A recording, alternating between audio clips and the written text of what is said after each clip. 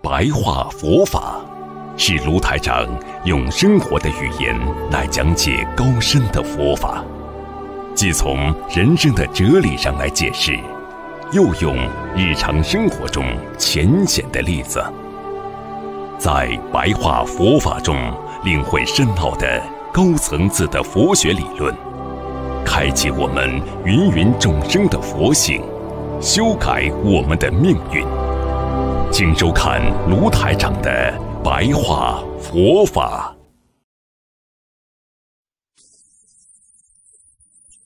离一切众生相，即为净土，心中就安静了。悲观的人，就是心中没有明心见性的果。一个人今天悲观，很难过，想不通我的孩子啊，我的单位啊。我的这个事啊，我的那个事啊，他想不通的话，你就是没有明心见性的果，没有果，大家听得懂吗？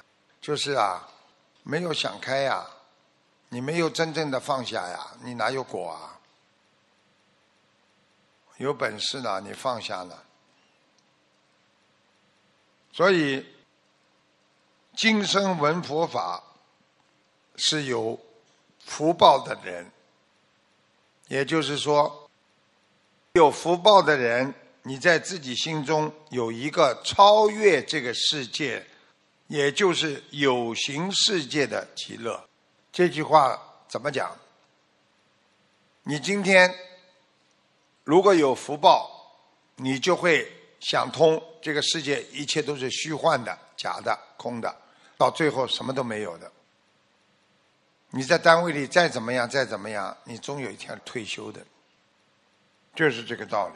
所以要超越这个世界的极乐，也就是说，完全把这个世界上的东西看穿，因为它会变，再不好过几天变，长一点嘛，下个月再长一点嘛，明年总归会变的啊。再多一点时间嘛，三年五年。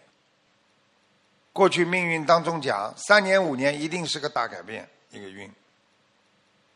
所以，极乐国土实际上就是需要你增加自己的信愿行。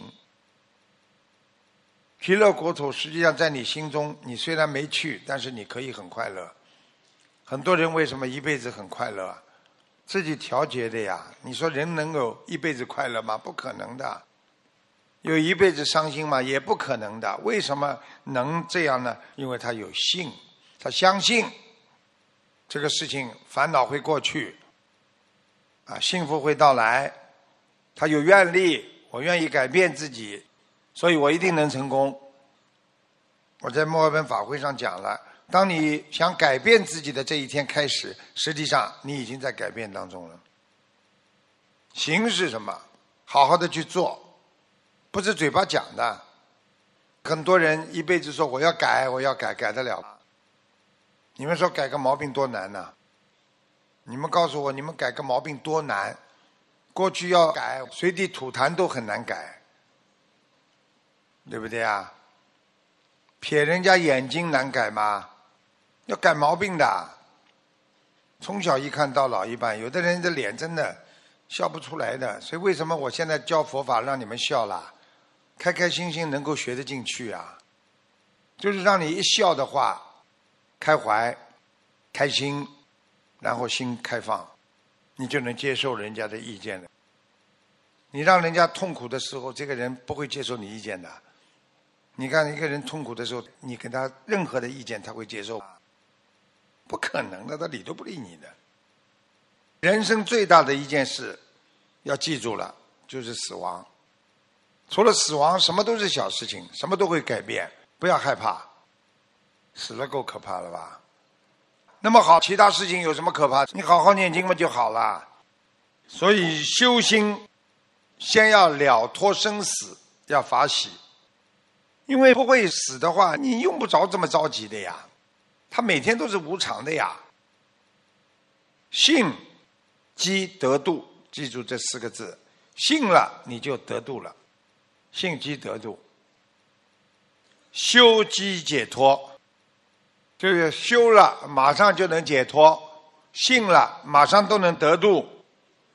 修机解脱，信机得度，见佛了生死。你看见菩萨了，你根本不会怕死的，因为菩萨会照顾你，会帮助你，会让你活得很好。你看见菩萨了，你有信心了，生癌症都不会死啊！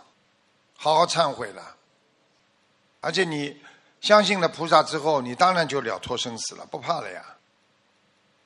学佛度一切，学佛的人可以度一切众生，帮助所有的人。你们看看，你们现在学佛可以帮助一切人，因为人生非假非空，非有非无。你看看一个人在人间呢，你说这个人是假的吗？是真的。非空呢，也不是空的。你说人看见对面的人是真的呀，非假非空呀，非有非无，并不是没有，也并不是有啊。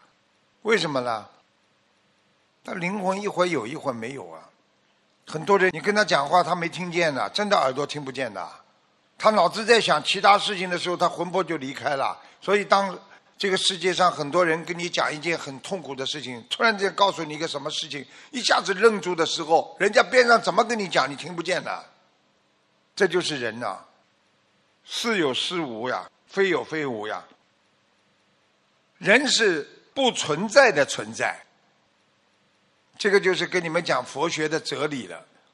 你说这个人存在吗？存在的。你说这个人不存在吗？我问你们，过去你们爷爷奶奶、外公外婆还存在吗？没了。那么过去存在过，是不存在的存在。那你现在讲起你的爷爷奶奶，是不是还在啊？曾经有过呀。这就是佛法讲的哲学。现在跟你们讲哲学了。你说这个人有脾气有的呀。那他好的时候没脾气的呀，他不好的时候怎么脾气这么大了？那么他到底有脾气没脾气啦？似有似无呀？现在明白了吗？好像有，好像没有呀。所以人家谈恋爱的时候跟人家介绍的时候总是这么讲的呀。哎呦，这女孩子好的，从来没脾气的，你相信吗？你说人怎么可能没有脾气呢？对不对呀？哎呦，好的，从来没脾气的，没造出来的。谁没脾气啊？你不要把人家当傻的，人家不给你发脾气的时候，说明你的气场跟他很好。闹啊闹啊，吵啊吵啊，我的老公脾气最好了。你闹啊闹到哪一天他给你一翻脸就没了，对不对啊？哎呦，我这个老婆啊，从来不反抗的。哎呦，我怎么骂他打他，一发脾气没了。时候没到啊，不要去欺负人家呀。所以有智慧的人知道这个世界是幻化变成的。是实境，又是虚境，又是幻境。你说是不是虚幻的？小孩子的时候，我们在学校里读书，我们很爱我们的老师，我们很爱我们的校舍、校友会啦。我们曾经的在一起的同学，多可爱的同学，现在全部都是虚境了。听得懂吗？没了。所以要知道。这个世界是根本没有生，也根本没有死，死和生它全部都是虚幻的，生了死了，死了又生了，不就两件大事吗？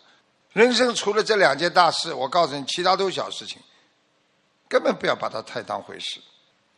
所以要懂得学佛，应该知道，我们人把这个世界看成颠倒了。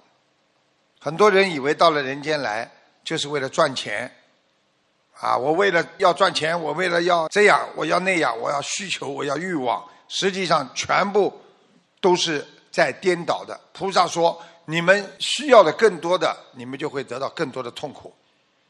你们觉得需要的是什么？如果跟你们说你需要痛苦吗？谁都说我不要的。但是谁都需要痛苦，为什么？因为你去追求了。”你有欲望了，你就在痛苦当中了。做不到的事情，很多人拼命去想、去求，有欲望，最后痛苦吧。要知道，唯佛就是唯有佛法能够免去你的痛苦。佛法能够免去所有人的痛苦。